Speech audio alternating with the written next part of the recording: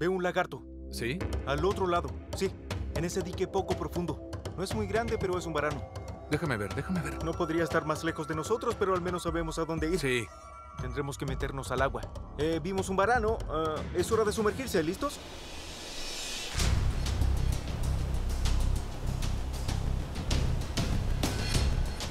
Cuidado, estas rocas están cubiertas de algas. Son muy resbalosas.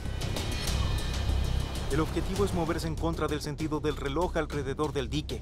Mario, esto te ayudará a mantenerte a flote y a mí también. Bien, aquí vamos.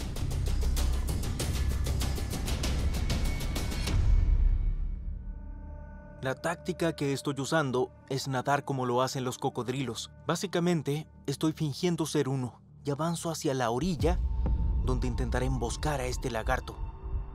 Y si puedo encontrar uno en la orilla, sumergido parcialmente en el agua o en las rocas, debería poder escabullirme lentamente, saltar y atraparlo.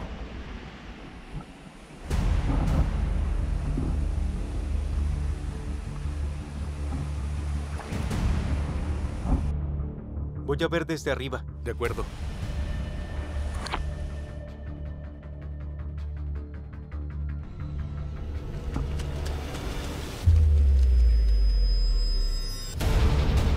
¡Un varano va directo hacia ti! ¡No te muevas! ¡No te muevas! Wow, wow, wow. Ahí está. ¿Lo ves?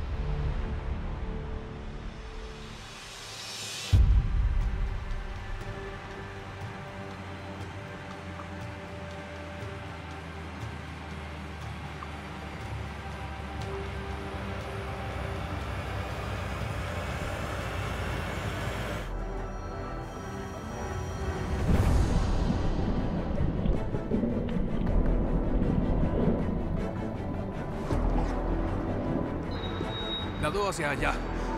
Ahí está. Se está moviendo.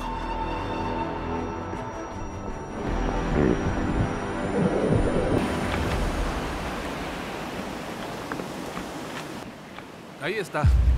Ahí está. Tendrás que estirarte mucho para alcanzarlo.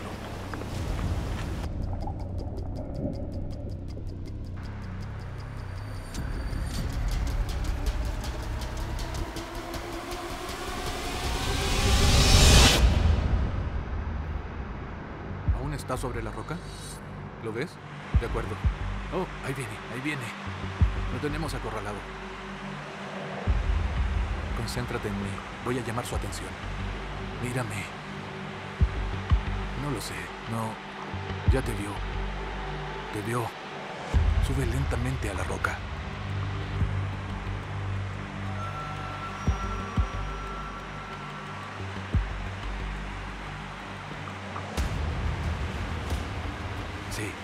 La vuelta.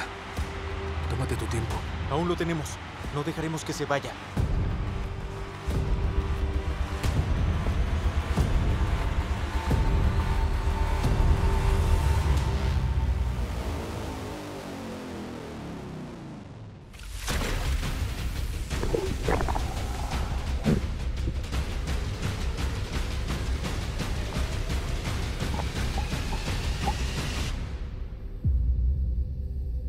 Tendremos que quedarnos aquí porque podría subir. Tiene que subir a tomar aire. Sí.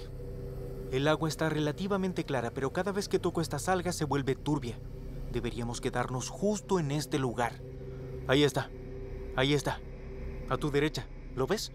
Lo veo, lo veo. Sí, lo veo. De acuerdo, no te muevas, no te sí, muevas. sí. Creo que deberías rodearlo. De acuerdo. Quédate Oh, no, ahí. no. Mejor síguelo en el agua. Está bien.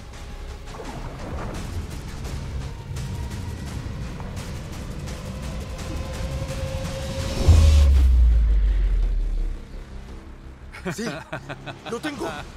Un varano acuático. ¡Woohoo! ¡Lo atrapé! ¡Lo atrapé!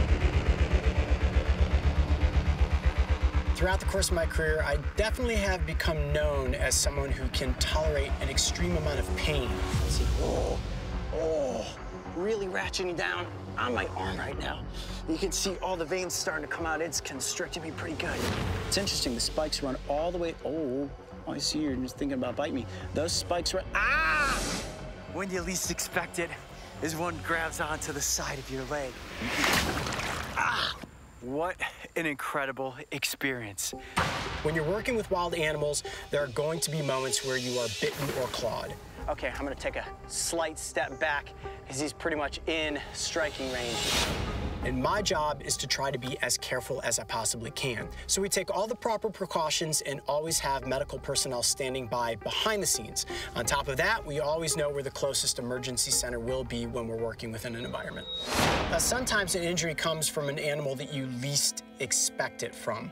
Uh, when we were filming the alligator snapping turtle episode in Texas, my goodness, we had caught a large spiny softshell turtle in one of the safe traps. What I wasn't expecting was razor sharp hind claws. And as I'm presenting this turtle, its hind leg actually sliced huge gouges into my hand. And those claws cut through me like a hot knife going through butter. Uh, actually, right from the beginning of the season, our first nighttime shoot, I was actually bitten in the face by a carpet python. Let's see if I just stay calm. Maybe the snake will stay right there. Every time they shed their skin, the eyes. Oh. You all right? Oh. Gotcha. Yeah, yeah. Yeah, it bit me right in my mouth. Oh, you're bleeding. Ah, that's what you call a kiss from a carpet oh, python. This is not typically an aggressive species, uh, but they will definitely test your limits if you let them get too close to your face. Got one. One of the biggest accidents of the entire season, which unfortunately was also not caught on camera, was me getting bitten by a piranha. The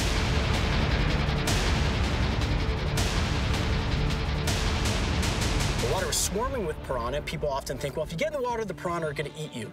That is definitely not the case, but we wanted to show the dental arsenal of teeth that these fish have. There it is. That is a piranha. Look at those teeth, razor sharp. And I attempted to show the teeth of the piranha yet again, and in the process, got the tip of my finger bitten off.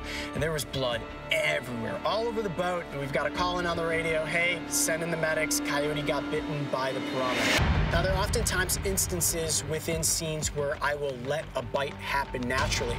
A good example of that would be when we were filming freshwater crocodiles in Australia.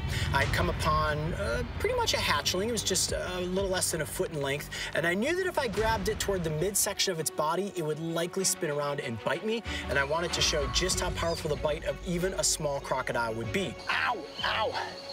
Well, we need something a lot bigger than that, but that's a good way to start off. The crocodiles are definitely ah, out and about. It wasn't too bad because the teeth were so small. When I attempted to let the crocodile go, placed into the water, I thought it was just gonna let go and swim off, but it decided it's probably better for me to do a death shake here. And it shook its head back and forth and sliced my finger apart much more painful and bloody than I anticipated the bite from a very small crocodile to be. That's exactly what you don't want to happen have the crocodile shake.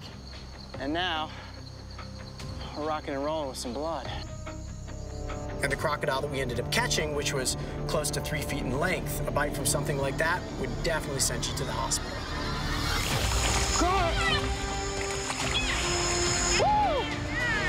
There is our crocodile. Yes, there we go. And that is a well-earned freshwater crocodile. A lot of people think that the animals are the most dangerous thing that we encounter when we're out there filming in the wild. Uh, actually, the environment can be significantly more dangerous. Just simply stepping on a rock wrong can lead to a twisted or broken ankle. So when you're moving yourself, let alone a large crew through the environment, you move slowly and you move with precision and care. All right, let's move down through here. You gotta be very quiet, guys. So we'll just whisper to each other. We're gonna take our time, okay? It's a very dangerous animal that we're about to catch. Everybody take a deep breath. Uh, it's very easy for somebody to accidentally fall off the side of a cliff. And there were a number of areas that we worked in that were very treacherous for not only myself, but also the crew. You've got guys who are carrying cameras, you've got sound designers that have boom poles and audio bags. Uh, so every aspect that we deal with, from the animals to the environments, have the potential to be dangerous and sometimes potentially even deadly. Wow, incredible.